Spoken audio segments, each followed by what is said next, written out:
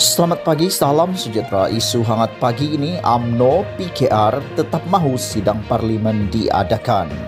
Berita sepenuhnya, pemuda AMNO dan PKR hari ini masing-masing menggesa kerajaan memanggil sidang parlimen diadakan dalam tempoh darurat.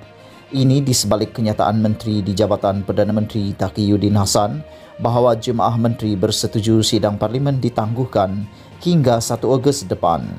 Ketua Pemuda AMNO Dr. Asraf Wajri Dusuki berkata, keputusan itu bercanggah dengan titah yang di Pertuan Agong Al-Sultan Abdullah Riyatuddin Al-Mustafa Billah Shah bahawa Parlimen boleh bersidang semasa tempoh darurat. Bagi pemuda AMNO, Parlimen harus dibenarkan bersidang dengan SOP ketat dalam situasi COVID-19 bagi membolehkan keberkesanan mekanisme semak dan imbang buat kerajaan sebagaimana tuntutan dan amalan demokrasi. Sekian isu hangat pagi ini. Jangan lupa tekan butang subscribe dan kita jumpa lagi. Bye-bye.